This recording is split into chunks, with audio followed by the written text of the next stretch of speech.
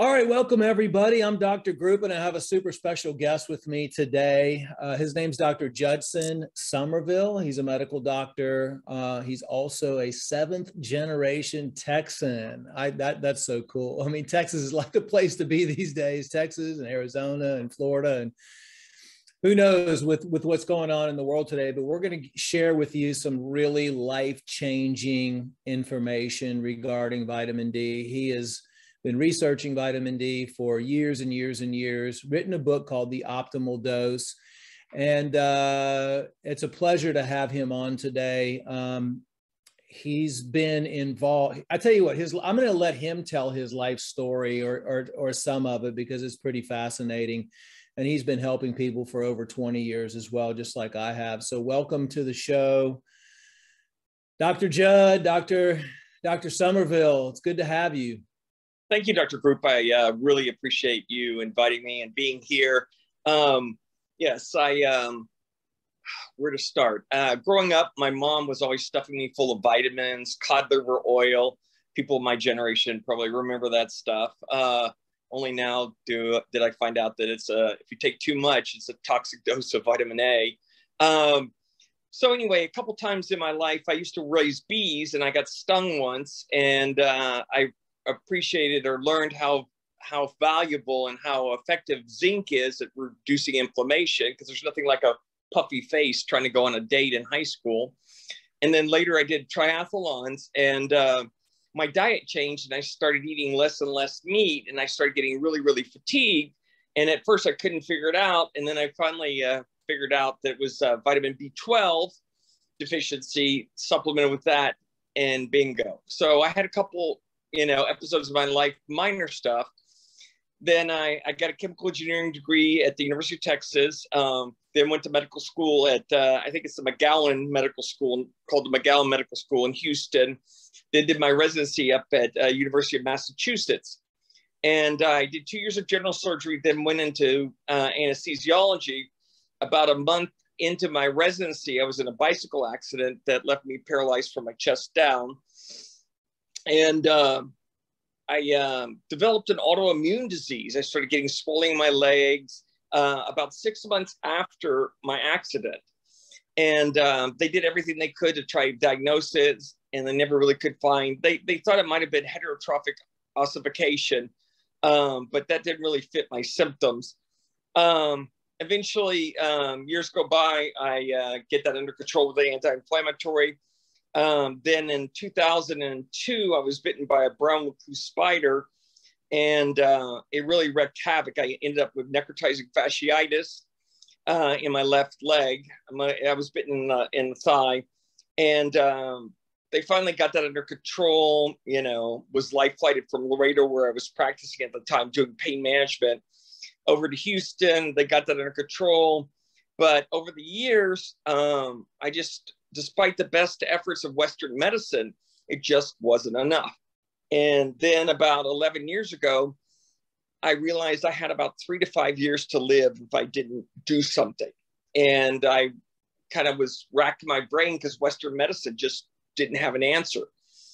And at least not one that any of my doctors could find. Um, and so then I thought back to my mom and stuffing me full of vitamins and stuff. And I remember reading an article can't remember if it was the New York Times or Wall Street Journal about how vitamin D had all these effects other than just, you know, being a vitamin.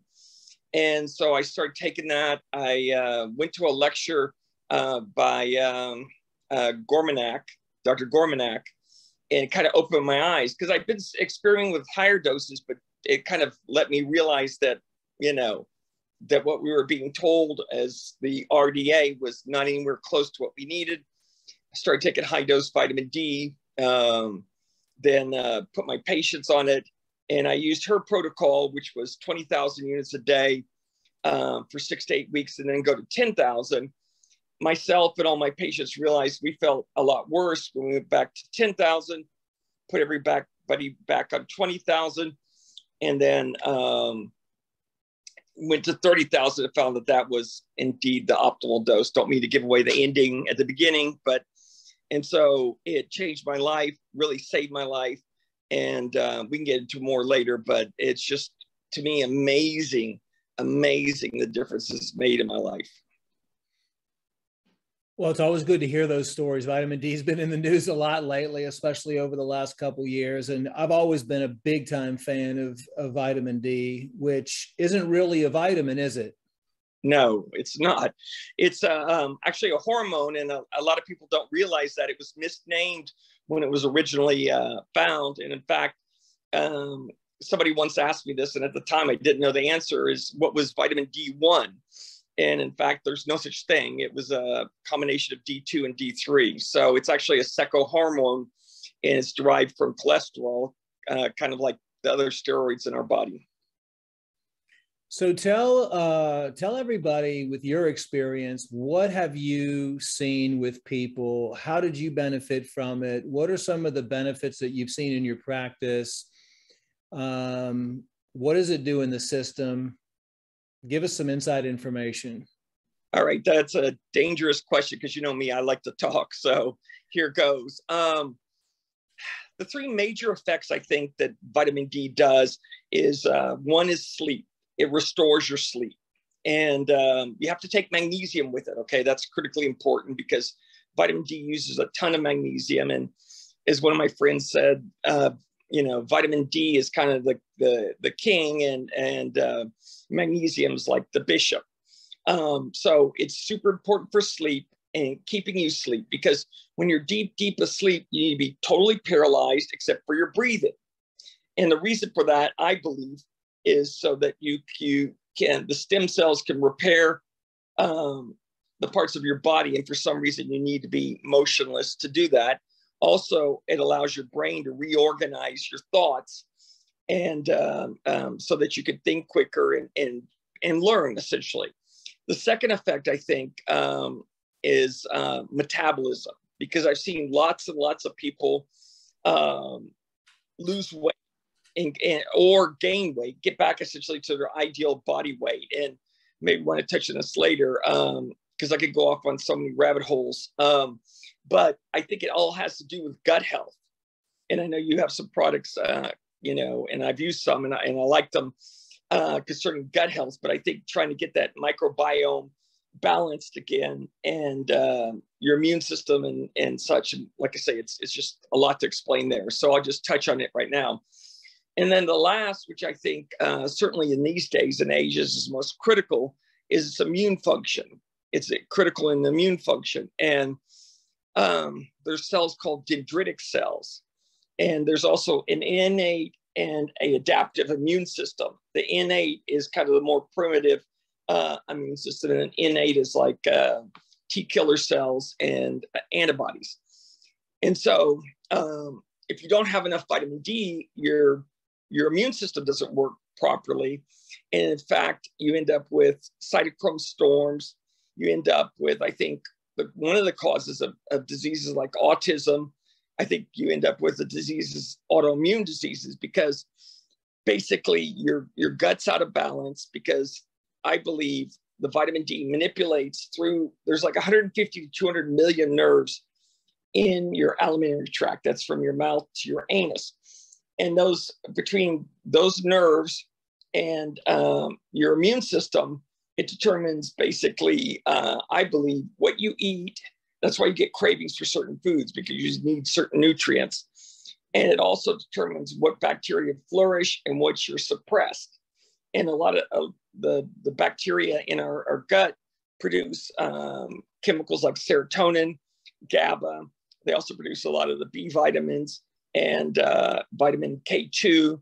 And so it's really important to for our, our body's health and and uh, and more and more they're starting to appreciate that medical you know science is starting to catch up with that they just haven't realized how critically important vitamin d is for it and um, so anyway the other thing is like for um, covid right now and all the stuff that's going on with it um, vitamin D is critically important. And as I talk about in my book, one of the I used I put all my patients on it. Uh, one just to get them healthy, but two for sleep, and the other was for bone health, which is the thing that most people know about vitamin D.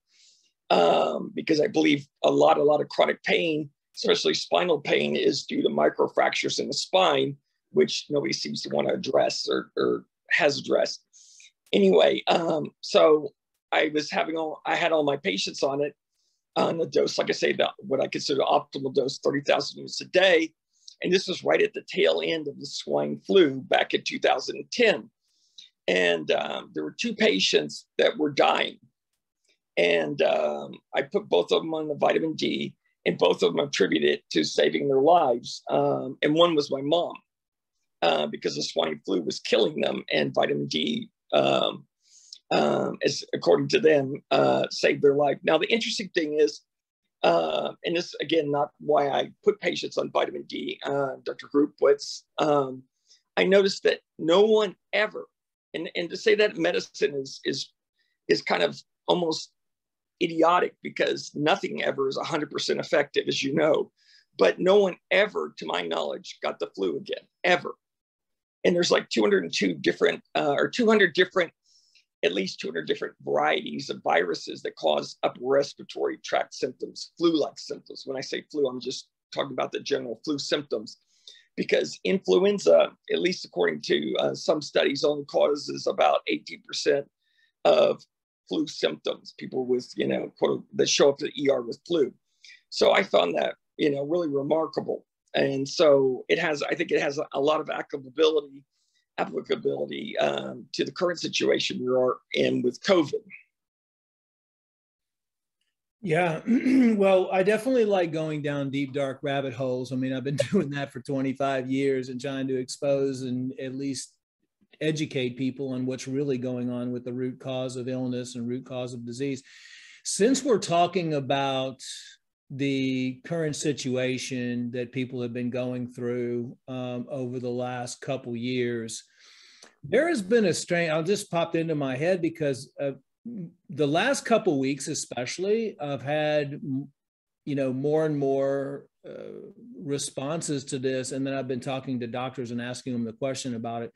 But apparently, there's a there's some sort of a weird thing going around with weight gain, especially with women over the age of 35 that have had COVID or that were exposed to. Basically, they had COVID. Uh, I personally don't know what's going on, but there's more and more people that are saying I don't know what's going on. Uh, I had COVID six months ago. I had COVID twice. I had COVID three times. I mean, we're starting to find out these post COVID um, symptoms that people are suffering from. And uh, most most of our clientele is women over 35 i mean guys aren't really yet so far into their health as much as women are. But we've been getting a lot of reports. And so i've been asking around. I've been asking other doctors too. It's like are you seeing the same thing? And they're saying yes we are. We're seeing the same thing like weight gain around the waist no change in diet. And it's associated with post COVID. Um, so I know everyone is always asking about weight loss and you know how they can lose weight and deficiencies and diet. So I don't know if you have any thoughts on that, but maybe if you could explain or go into a little bit more detail about how D is effective for weight loss or weight gain if you need to gain weight. Most most of the requests that we get are for weight loss. Right, right. Um, I, I love it. Uh, you know, I, I think you and I are like-minded. We love rabbit holes. We love, we want to know the truth. We really don't care what it is as long as we get to the truth um, as far as that goes, because we don't like to say things that are not true. And like one of my professors once said uh, in medical school, half of what we are teaching you is wrong. We just don't know which half. So half of what I'm telling you may be wrong. I, I just don't know which half, but I certainly am striving to get you give you the best information I have concerning weight loss, which is typically what most people are, are concerned about. Um, I, I, saw some miraculous results. Um, men, for whatever reason, and I haven't figured this out. If you got an idea on it, let me know. But men, um, and may have something to do with estrogen and testosterone, but men always are able to lose weight a lot more rapidly, and it may be muscle mass uh, than women are. And uh, I had probably a dozen guys that started what I call the optimal dose, and within three months lost 75 pounds. I mean, that's huge.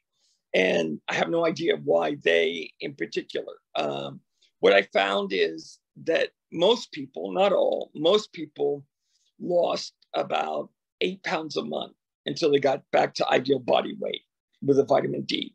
And what it does is, I think, several things. One, and the most important is, I mean, what what destroys a diet? Why do diets fail? Okay, and you've got a million of them out there, and and you know it's cut back on eating, you know, it's or eat more. It's either cut back on eating or eat more stuff that's low caloric in order to fill your stomach or drink more water or whatever it is. At least my understanding of diets. Um, but what vitamin D does is it changes your appetite. It changes your appetite. If you think about a bear in the fall, what does it do? It gorges itself. Why? Because it needs to put on a lot of fat for the winter so it can survive, so it doesn't starve to death because food is a lot less available in the winter. Well, lots of mammals do that. And I think our body is programmed to do that. And I call it the winter syndrome. And what happens essentially is um, we get less sunlight, our appetite goes way up, our metabolism goes down 20 to 30%, and our fat absorption goes way up. Well, vitamin D does all the things that you want of a perfect diet pill. It restores your appetite to normal. It speeds up your metabolism 20 to 30% and it blocks fat absorption for the fats that you don't need. Versus, remember that when they came out with all those fat blockers, I don't know if they're still in the market or not, and they had all the cardiac issues and, and such like that. Well, I mean, vitamin D is a perfect fat pill. So, what happens to bear? Okay, it gorges, it pigs out, gains a lot of weight, goes, hits the spring, and then, you know, um, initially eats a lot because it's, you know, lost some muscle mass and such like that. But then it goes back to its ideal body weight because when you're trying to go out and gather food and such, it's not really beneficial to carry around a lot of extra weight you don't need. Well, essentially, what we humans do, and let me digress a second. Okay, if you think about the meals, at least in the northern hemisphere, because it's it's interesting. A lot of the people I get contacts from are from New Zealand, Indonesia, uh, Australia. So of course their seasons are flipped. But if you think about the meals that we eat during during uh, quote unquote the fall and winter, is you know you think about Thanksgiving, Christmas, New Year's. I mean, think how fatty and and high caloric those foods are that we eat during those times. And everybody, you know, everybody, but typically the, you know there's that 10 or 15 pounds of weight gain over the winter and somehow miraculously in the spring it goes away well just that little bit of sun exposure that you get during the summer and spring is enough to to impact you. And the, the little bit of difference because you're not getting very much typically because most people get almost all their vitamin d from sunshine uh, what little bit they do. And especially for people of color it's really really difficult because um, they need you know up to five times or more sunlight to get the same amount of vitamin d. So that's that. Uh, why would COVID? I think COVID, um, well, here's the interesting thing, and a lot of people don't know this cancer cells mutate to either increase the destruction of vitamin D or decrease its, the production of the active form. They affect the 1 alpha hydroxylase enzyme that converts the blood form of vitamin D into the active form, or they increase the 24 hydroxylase enzyme activity to destroy vitamin D. And so I think that COVID somehow is affecting the production of the active form and or the destru- increasing the destruction of the uh, active form in order to reduce the amount of vitamin D because vitamin D is critical, like I said, for the immune system, particularly the dendritic cells uh, that recognize self from foreign. Anyway, I won't uh, we'll discuss that later, but I think I bet you a dollar, not a million dollars, but I bet you a dollar it's it has something to do with its effect on vitamin D3.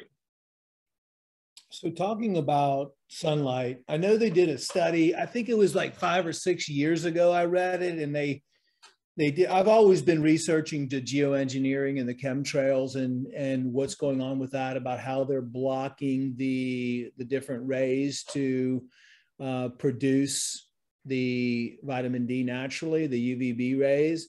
And I think they did a study on lifeguards. I think it was down in Florida that are out literally out in the sun all day long, every single day. And at the end of the study, they found that pretty much all of them, over 90% of them, were still deficient in vitamin D. So basically, what's been happening, what the, you know, most people think chemtrails and geoengineering projects are a conspiracy theory, but you can actually pull up geoengineering. It dates back to the 19, you know, 30s, 40s, 50s. They used it extensively during the Vietnam War. Uh, when I talk about geoengineering and chemtrails, it's spraying specific compounds into the air to block the sunlight. Do you, uh, and I agree, I, you know, I basically think, believe in 25 years of working with people that if I was to pick two things that 99% of the population were deficient in, it would be iodine and vitamin D. So I just kind of wanted to get your take on what have you noticed the same thing happen over the years and and why why is it now that people can be in the sun and still not be able to uh, uh, to to manufacture the the vitamin D3 and I and I know also a big component of that is the personal uh, care products that they're lathering on their skin and the sunblocks that they're lathering on their skin which absolutely makes zero sense to me yeah, yeah. I um I have a uh, website and I've uh, written a blog series about sunscreens and how wonderful, wonderful they are for you. Um, yes, um, and it's interesting. I don't have the specific articles uh, uh, at hand, but um, back in the 30s or 40s, there was too much vitamin D supposedly in the food, so they started taking it out. And then they switched to vitamin D2, which is much, much less effective than vitamin D3. And then the other thing is that, um, you know, the current, um, what is it? Um, how is it? Public announcements, public uh, health announcements are avoid the sun and cut out salt. Well, how are you supposed to get vitamin D or how are you supposed to get iodine? And if you're deficient in iodine, it lowers your IQ. Okay. And in fact, there was a, uh, um, uh, it's on my Facebook group, somebody posted it, a, uh, doctor that does a um, CME on iodine showing that if you take um, 12 and a half milligrams a day during, well, you should anyway, but if you do during pregnancy, it will increase your child's IQ 20 points. And he makes the analogy of the Japanese. They, on average, take, I think, 13.7 or 13.8 milligrams a day because of all the seaweed they eat. And uh, you can see how intelligent they are, you know. Uh, and um, just because it, it, it uh, happens there doesn't mean it's a fact.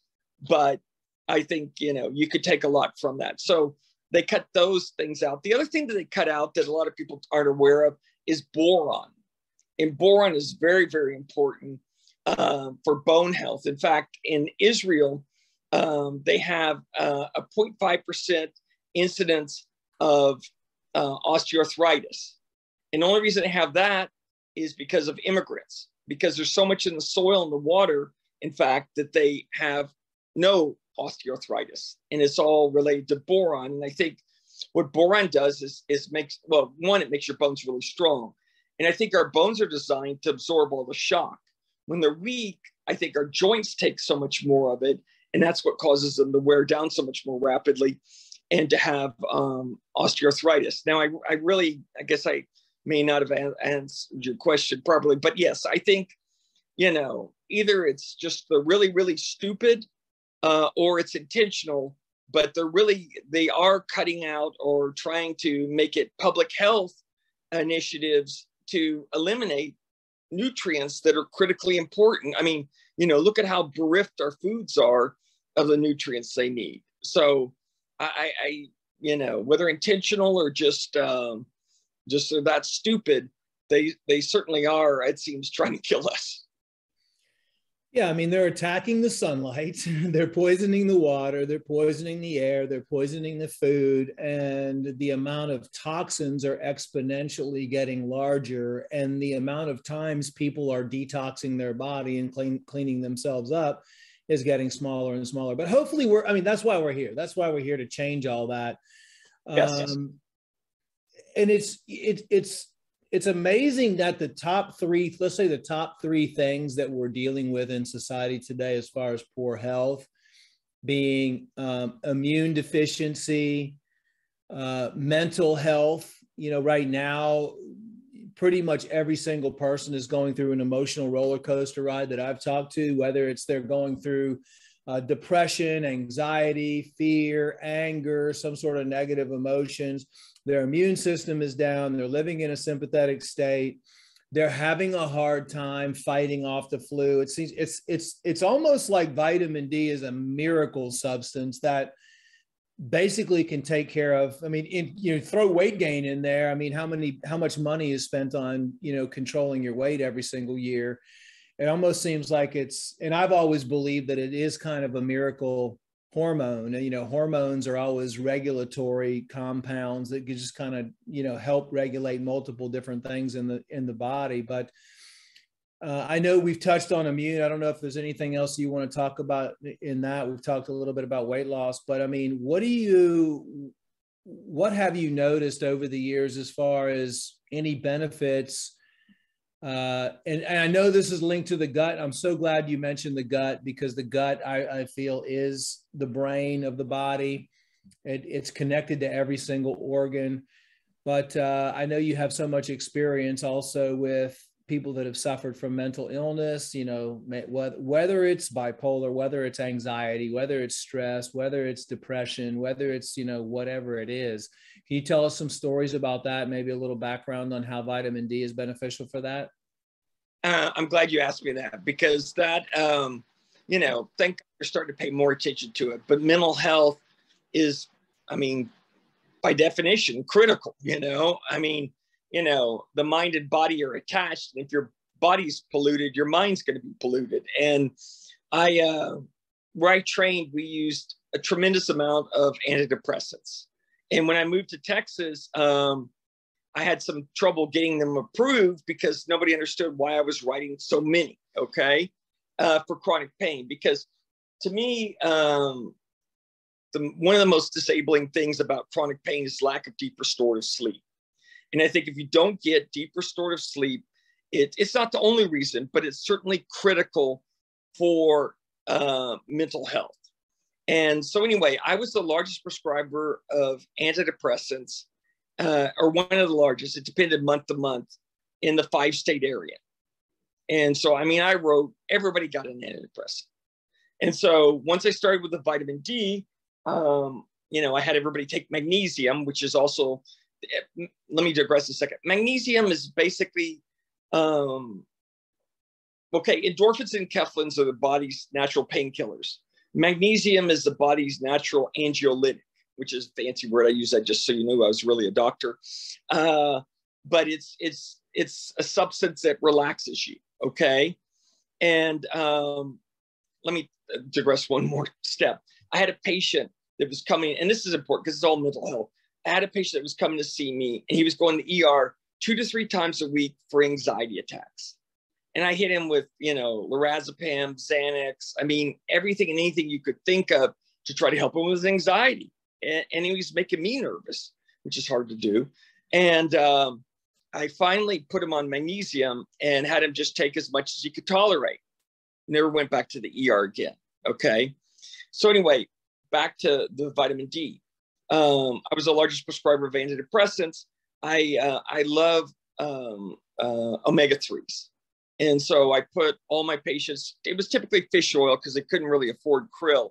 I prefer krill oil, uh, but anyway, so a combination of thirty thousand units of vitamin D three a day and four grams of krill oil. And I'm not giving medical advice. Don't stop your antidepressant right now and start taking what I'm saying.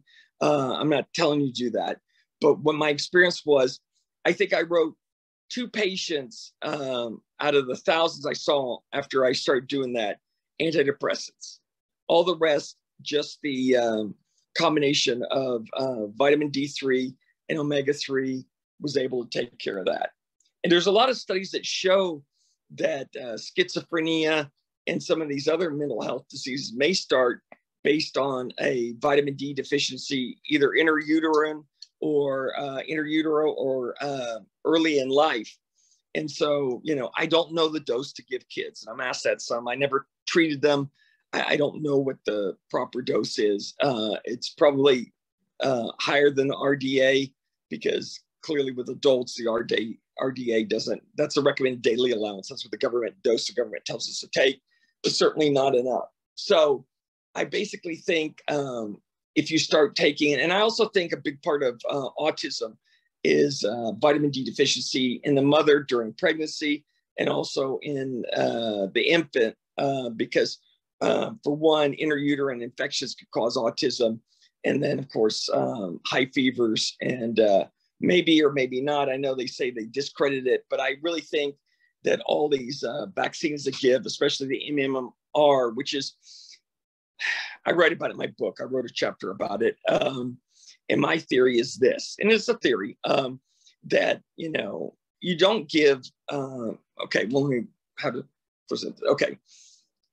Basically, you have an infant. He's vitamin D deficient. He or she is vitamin D deficient. And, um, which in my but opinion. So what, what, just, just to clarify, what percentage of infants are vitamin D deficient? Oh, Jesus. I mean, based on what I think is the proper dose, 100%. 100%. And I think if you aren't taking, okay, let's go down that rabbit hole a second. You need at least typically, unless you have a, uh, what is it, MTHFR, methyl, uh, what is it, methylfolate.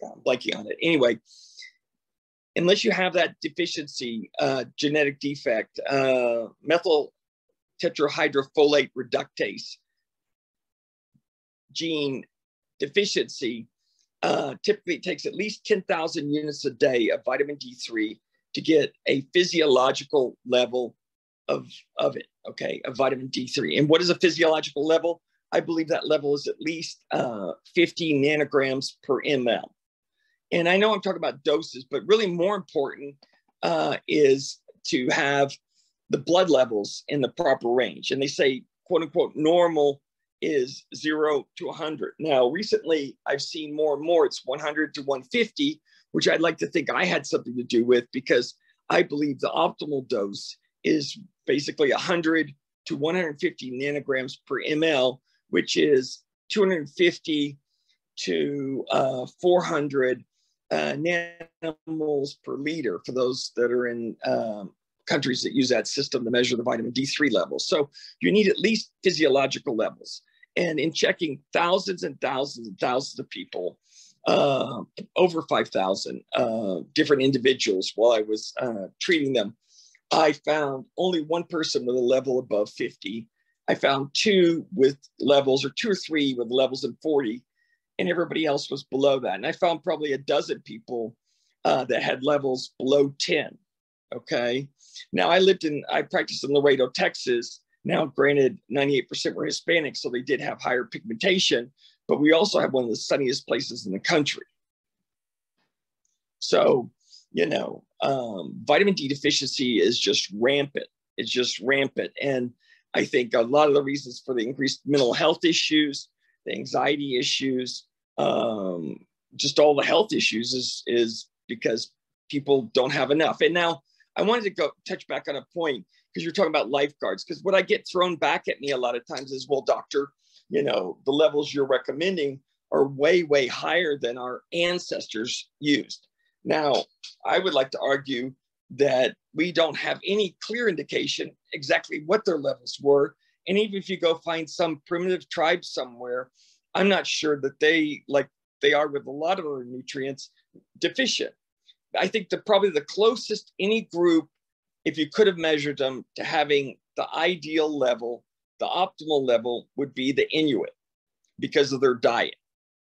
And right now, and I've been trying, I don't know, I should write them, but there's a there right now there is a epidemic of suicides going on, especially among the young people and the Inuits because they've changed their diet and they used to eat things like muktuk, which is uh, I think seal or, or whale skin uh, and blubber, and it's super high in vitamin D and omega threes. It's basically an antidepressant pill, and they took it away from them, and now they're killing themselves because they grew dependent on it's like a Star Trek series where the people grew dependent on a certain substance and they took it away, and bingo, they all get sick. So um, I think it's I kind of I believe we live in the Garden of Eden. Everything we need is there. We're just not using it. So you, you mentioned um, deficiencies. How, how would somebody know uh, if they're deficient, or what are some of the more, more common? I know you mentioned sleep and stuff like that, but um, any more symptoms or anything else that people would be able to notice to say, "Hey, I might be vitamin D deficient"? I mean, you can pretty much guarantee it. Like I say, if you're not taking supplemental vitamin D, you, you know. But you know, I, if I go to a mall and I see somebody that's that's overweight with dark circles under their eyes, bingo, they're vitamin D deficient. You know what I'm saying? And uh, because our foods are so deficient in magnesium, um, even if they're getting, you know, because I, I hear people say, "Oh, I drink a lot of milk." Well, the problem with, and this is, I'm glad I thought of this our foods are supplemented to degree with vitamin D, but it's vitamin D2, which is ergocalciferol, which is actually much less, much more poorly absorbed and much less effective than cholecalciferol, which is the type of vitamin D3 that mammals ingest. So, I mean, even if you drink a lot of milk or eat a lot of foods that have been supplemented with vitamin D3, I mean, vitamin D, uh, you could be guaranteed it's it's the wrong type of vitamin D. So you know, I, I uh, you don't sleep well. You know, you have allergies. You get the flu often. You're overweight. Um, you feel depressed. You know, you pretty much can guarantee that you're vitamin D3 deficient. Yeah. Have you noticed the correlation between D uh, deficiency and any type of skin conditions or I, we got to be careful what we say because we're on, we're on YouTube and they censor everything. But uh, any type of viral conditions as well, beside outside of the flu. Yeah, um, I think um, I've been. A lot of people have commented because I never had good skin, and I had a lot of zits and stuff in high school. And I, I, I mean, no one ever commented and complimented me on my skin and I'm getting all kinds of compliments on how wonderful my skin is. I used to have really bad acne scars, and I still have some, but they've mostly gone away. I had a lot of um, of uh, wrinkles or creases even, and they're going away.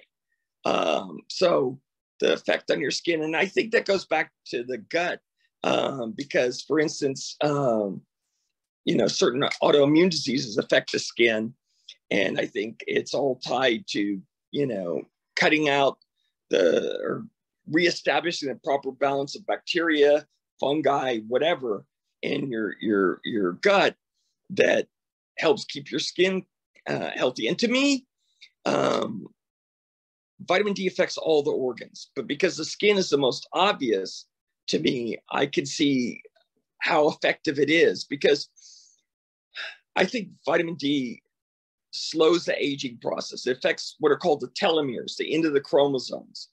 And I was involved many years ago. I was on the Today Show and on uh, MSNBC because they took my cells and I was the first person to have my cells cloned. And um, so I'm very, a gentleman named Michael West, he formed uh, several companies, Geron, Advanced Cell Technologies, and such. And so he was very much into the aging, you know, slowing aging. And I think vitamin D absolutely slows the aging. And now, uh, apparently, every seven years, your body essentially cycles through all your cells. You essentially replace all those that you can. And so it's been uh, over 11 years now. So I think I'm like one and a half times through cycling. You know, I think um, my hair, as you can see, is kind of out of control. Call it COVID, lack of haircut. Um, but I think my hair is so much better. I think it's starting to regain some of the color in it, um, you know, which is not really the skin, but sort of associated with it. But I've seen a phenomenal uh, improvement. Now, one thing I've been curious about, and I don't know how the answer is, um, but certain, you know, um, sexually tra- uh, transmitted viral diseases, um, I, I, I'm curious because of its effect on the flu, respiratory tract, respiratory viruses, how uh, vitamin D might be affecting um, or preventing people from getting, um, you know, uh, virally sexually transmitted diseases. But I don't have the answer to that. And that's the thing is there's so much studies. I mean, and people go, oh, there's thousands and thousands of studies on vitamin D. Yes, all done at such low doses or poorly done because they don't track the the the the uh, blood levels. I mean, they're a joke. They're really, really a joke. There's only one study I know of that used um, high higher doses. I don't even like to use higher doses because basically, I believe the optimal dose is, in my personal opinion, what the RDA should be. Okay. Now, one thing we didn't talk about um, is toxicity. And everybody's like, oh my God, you know, can't that stuff kill you? I think they've done a really good job of brainwashing people to tell them that basically supplements are expensive pee and that the really most effective one, the one that could basically put out the pharmaceutical, put the pharmaceutical industry out of business. And I don't want to put them out of business. What I want them to do is focus their efforts on diseases that are genetic or otherwise vitamin D can't help. But um, I, I believe vitamin D would put the pharmaceutical industry because almost every single disease, in my opinion, uh, especially age-related disease, is from vitamin D deficiency. Yeah. And, and most of the tests that doctors are doing are not they're not testing for iodine levels. They're not testing for vitamin d levels. They're not testing for parasites. They're not testing for chemicals and heavy metals. They're not they don't have any testing put together for the things that actually cause your illness to begin with. Um, so anyway, that's I think we've covered a lot right now. So if someone was going to, how long does it usually take to start seeing results when you start putting people on the optimal dose of thirty thousand IU's? Uh, it takes a couple weeks. Uh, for me, it was like nine days. I went. I wasn't hadn't been sleeping well. I went home. It was light outside. Closed my eyes I woke up, it was still light. I was really upset because I thought I hadn't slept. It had been 12 hours. And I had slept. You remember as a kid where you go to sleep and you wake up and it feel like a minute? That's what I had. Now I, I don't have that all the time now. I mean, we're adults and too much other stuff's going on. But um, I'd say a couple weeks you should start noticing a difference. Now, here's the one thing: um, when you start taking it, some people gain weight. And I remember the first time that happened, I it took me a second to figure it out. They're like, "Oh, doctor, this isn't helping. I've been weighing myself, and my weight's gone up." I'm like, "Wow, why would that be? Why?" Ah, okay. I said, "Well, how are your clothes fitting?" And they're like, "Oh, well, looser." I said, "Because muscle mass is three times denser than fat." So, you know, it takes it takes a while, but and I've noticed you know, even four years out, that I was still like almost weekly noticing a change. Now, 11 years out, I just noticed, I think I've hit, it's kind of like tuned everything as much as it can tune it. And now I'm aging, but at a slower rate. But I think for a long time, I, you know, I can't say I was getting younger, but I don't think I was, I was certainly getting so much healthier and I don't think I was aging. So easily for five or six years, maybe longer, I, I think it just completely stopped my aging. And now I'm back aging again, but at a really, really slow rate because the body is designed to last at least 120 years, probably longer. And like I told my patient, I want you to live 120 years and then drop dead, but to be totally healthy. I mean, hopefully live longer. But you know, the point was not this slow decline where they're always ill. Got it. When you when you recommend um, your patients to use vitamin D, do you have them do it with food? Do you have them do it a couple times a day between meals? What's your recommendations? It's like I, I tell all my uh, patients or told them all is you know your body better than anybody. So figure out what works best for you. A lot of uh, the peak effect is around 15 hours. So some people find that if they take it at night, it keeps them awake. Other people find if they take it in the morning, it puts them to sleep. I personally take mine at night, and I believe it helps me to sleep. but I've never had problems sleeping. Um, but I, I, think it varies. Now, um, I like the capsule are suspended in, uh, let's say, avocado oil or olive oil, you know, some type of non seed oil. And I think that's probably enough for its absorption, you know, as far as that goes. But some people um, think that uh, perhaps eating with a fatty meal or something is beneficial because it's fat soluble and it'll, it'll help. Some people think that if you're going to take vitamin K2, which is a whole different subject, um, is to take that, you know, let's say in the morning and take vitamin D3 in the evening or vice versa, because they might interfere. I, I don't know that that's true or not, um, but just uh, that might be a question that might come up in somebody's mind. Yeah. So tell tell us a little bit more about K two since we have a few more minutes. Like, what what is the? Do you always tell people to take take K two when they're um, vitamin D deficient? Here's the thing: is I think when you're first, let's say you're older and you're starting to take vitamin D three, I think your body's been racked. You probably have atherosclerosis. You have probably have osteoporosis, and those are the two main things. I mean, there's many uh, if you have periodontal disease, you know, um, vitamin K2 is super, super effective.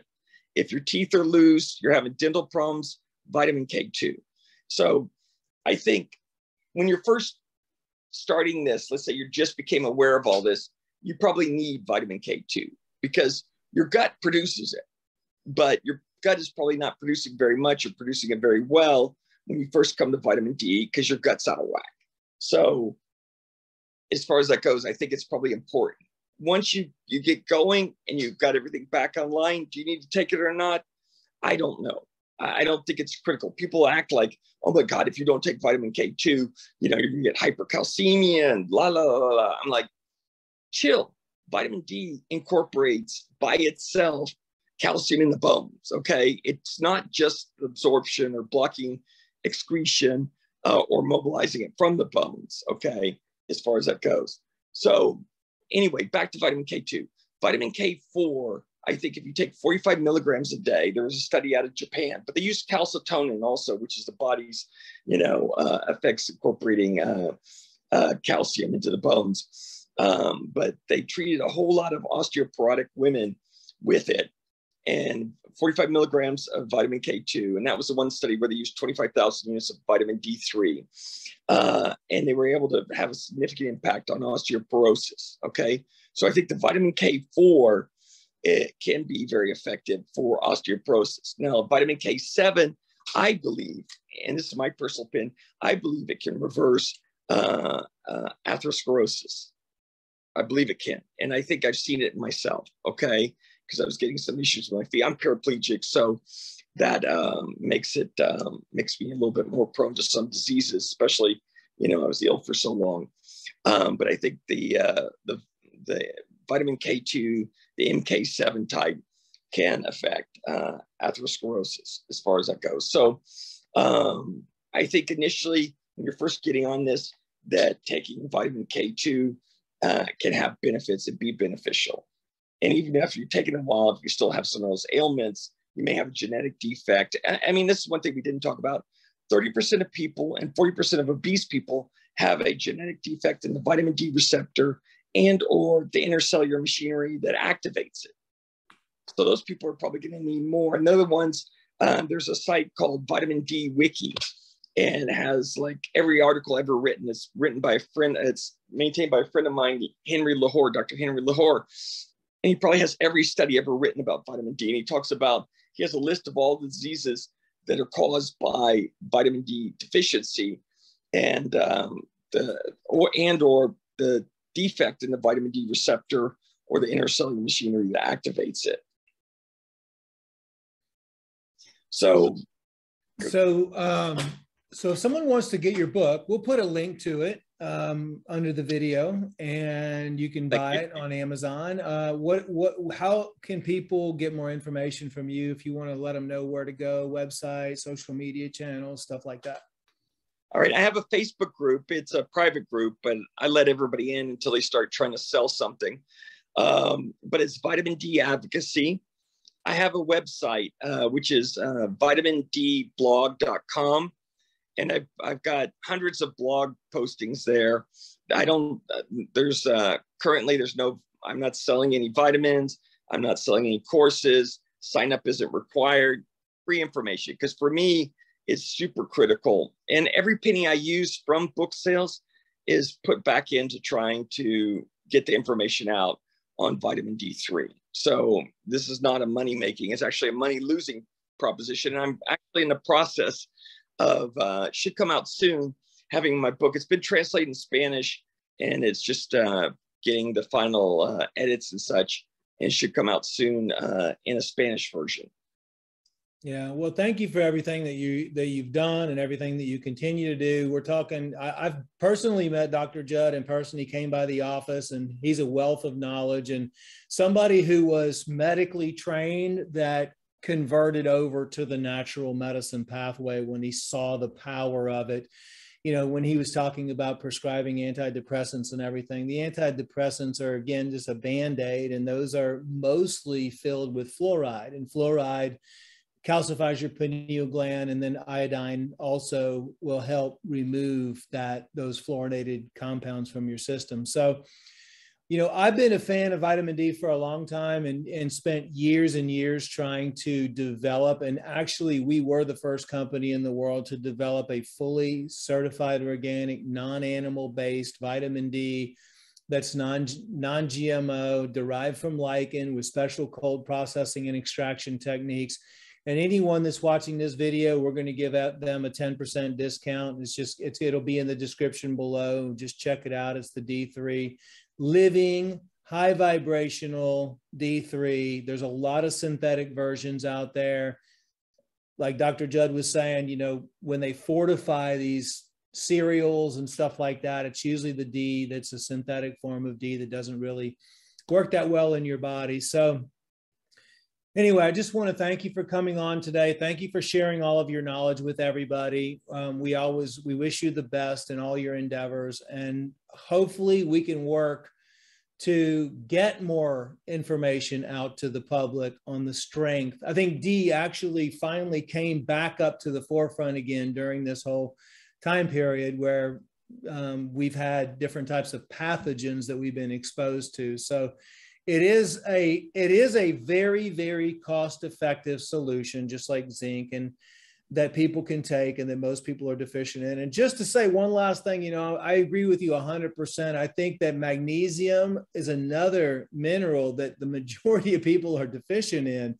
Uh, when you have vitamin d deficiency you have magnesium deficiency you have iodine deficiency. Uh, those are supplements in boron boron as well. Boron deficiency is rampant. So um, Get your really good organic vitamins. Continue to cleanse your body. Learn, eat healthier food. Eat organic. Any last thing that you want to say? Yes. Get a copy of his book that he's showing there right that, right now, The Optimal Dose. Um, you can get that on Amazon and read more about it. Share the information with everybody that you can, because this is something that we can all share to protect everybody I know, I mean, I get calls every single day, and I know everybody watching this video knows somebody who might be having difficulty with their weight. Sleep is an epidemic right now. I mean, I very rarely do I talk to anybody who says they're sleeping for eight hours through the night. I mean, they're sleeping with their laptops and their cell phones next to them. I mean, it's just like sleep is uh, is actually one of the biggest epidemics right now. And another thing, you know, the number one health complaint in the world for the last probably 10 or 15 years is pain. And uh, so many pe- people suffer from aches and pains every single day. So, I mean, you have vitamin D that addresses like the top five or six health conditions out there. So, get your vitamin D. We're not giving medical advice. I agree with 30,000 IUs a day. That's about what I take. I think that's a perfect optimal dose. Any closing words from you, Dr. Judd? Oh, I could go on for hours, um, uh, bore everybody to death. But um, I just really, really appreciate everything you do, Dr. Group. Um, you know, we need somebody out there to bring the right products out there, the the ones that, like you say, high vibrational energy and that um, you know not polluted with all this other stuff. Because what's the point of taking something if there's so much negative attached to it? That it basically neutralizes it. So thank you for having me. I really, really appreciate it. And uh, God bless and, and um, have a great day. All right. Thank you for watching, everybody.